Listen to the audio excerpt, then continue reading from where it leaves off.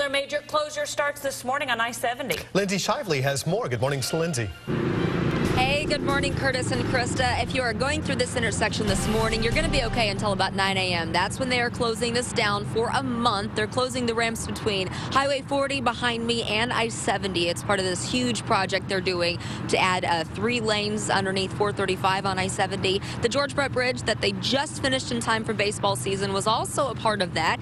Good thing that is done because if you are headed east, that is kind of the first intersection you need to hit to get off and take your detour to get down to Highway 40. You can also hop off on Sterling a little bit further down. If you're uh, headed west, you're going to want to get off on Noland Road and head south to 40 Highway so you can get to this intersection as well. This is where Blue Ridge Mall used to be. It's still a very busy intersection with Walmart and Lowe's, a lot of restaurants around here. So it's going to be closed for a month while they are improving the ramps and doing some paving again, too. It's going to open up in May, and the entire project should be finished by the end of this year. We're live. Lindsay Shively, NBC Action News Today.